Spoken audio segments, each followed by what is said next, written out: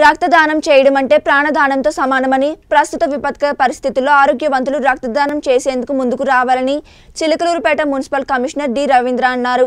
పట్టణంలోని యేసుక్రీస్తు దివ్యశాంతి నిలయం పాస్టర్ నందమూరి కృష్ణార్ ఆధ్వర్యంలో ఏపీ వైద్య విధాన పరిషత్ నర్సారావుపేట వారి సహకారంతో మెగా రక్తదాన శిబిరం నిర్వహించారు. ముఖ్య అతిథులుగా municipal commissioner D Ravindra APSRTC depot manager N సుజాతలు పాల్గొని రక్తదాన శిబిరాన్ని ప్రారంభించారు. మరి చిలకలూరుపేటలో ఈరోజు ఎనిమిదవ రక్తదాన శిబిరాన్ని ఏసుక్రీస్తు దివిశాంతి నిలయం చర్చ్ ద్వారా జరిగించడం జరుగుతుంది. గత ఏడు సంవత్సరాలుగా ఈ రక్తదాన శిబిరాన్ని మేము నర్సరావుపేట బ్లడ్ బ్యాంక్ ద్వారా ఆంధ్రప్రదేశ్ వైద్య విధాన పరిషత్ బృందం ద్వారా మేము జరిగించడం జరుగుతూ ఉంది. గత ఏడు సంవత్సరాలుగా అనేక వేలాది మంది ఈ రక్తదాన శిబిరాల్లో పాల్గొంటున్నారు. ప్రత్యేకంగా ఈ డిసెంబర్ మాసంలో క్రిస్మస్ ఆరాధనలు పురస్కరించుకొని ప్రతి సంవత్సరం జరిగించేటువంటి ఈ కార్యక్రమాన్ని ఈ సంవత్సరం కూడా నిర్వహిస్తున్నాం. ఈ బ్లడ్ క్యాంప్ చాలా అద్భుతంగా జరుగుతూ ఉంది. అనేక మంది వచ్చి ఈ రక్తదాన శిబిరాల్లో పాల్గొంటున్నారు.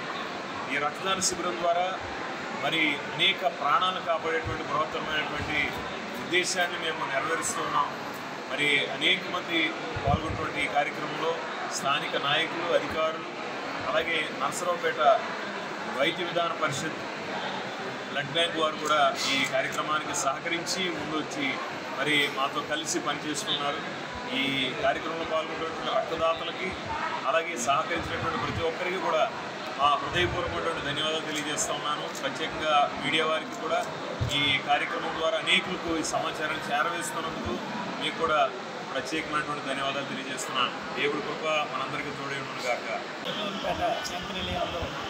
ఎనిమిదో రక్తదాన శిబిరం నిర్వహించడం జరుగుతుంది. ముందుగా పాస్టర్ మిస్టర్ గారికి తెలియజేస్తున్నాం.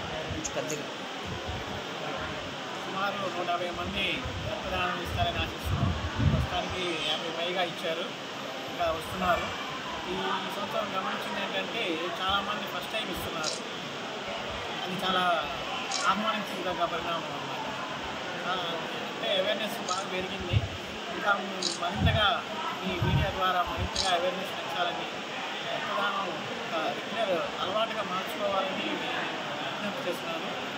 ఈ రక్తదానం ఏర్పాటు చేసిన మాస్టర్ కృష్ణ గారికి మరొకసారి థ్యాంక్స్ చెప్తున్నాను.